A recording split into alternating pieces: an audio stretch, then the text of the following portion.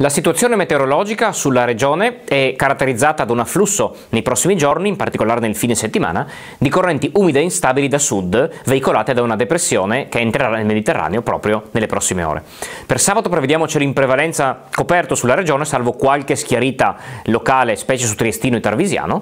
Saranno possibili delle precipitazioni deboli e sporadiche al mattino, più diffuse, frequenti e abbondanti dal pomeriggio, anche temporalesche e più intense localmente, specie sulle prealpi, sulle zone occidentali.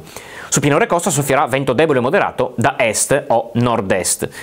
Ehm, per quanto riguarda lo zero termico sarà sui 2500 metri, quindi eventuali precipitazioni saranno a carattere piovoso su praticamente tutte le nostre zone montane.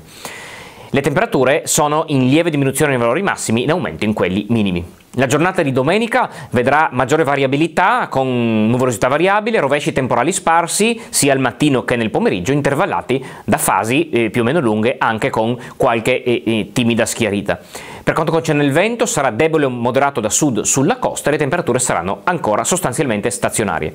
Tempo instabile anche i primi giorni della prossima settimana, ancora con rovesci temporali sparsi alternati a fasi di pausa con qualche schiarita. Temperature rimangono ancora sostanzialmente stazionarie.